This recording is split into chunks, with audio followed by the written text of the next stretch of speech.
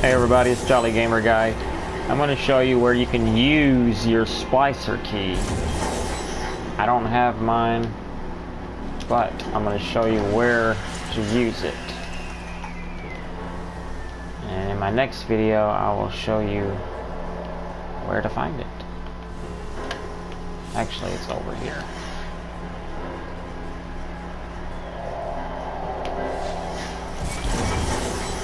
Try and make this as quick as possible.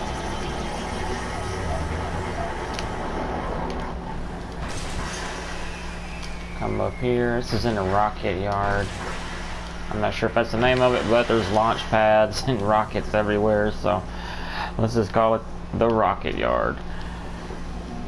Uh, yeah, anyways, these little things right here actually do stuff, but that one's tipped over. So, here it is. Use this little terminal right here. Dude, I did a while ago when I came up to it. Oh. Okay. Requires a splicer key. And these little odd little keys, I've got these to splicer into a relay.